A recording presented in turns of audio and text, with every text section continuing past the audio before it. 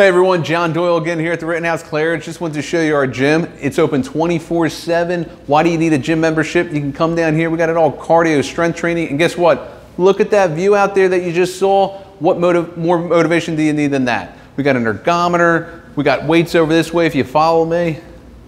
It's a beautiful gym, 24-7. Again, no gym membership. You come down here, 1 o'clock in the morning, you can't sleep, get a nice workout in. If you follow me in here, we got a beautiful yoga studio. Check this out.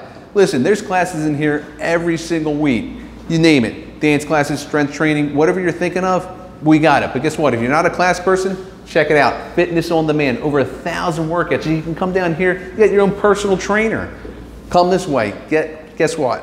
We got a sauna. We're the only building in Rittenhouse Square area that has a sauna. Guess what? After a workout, you come on in here, you get a nice steam in.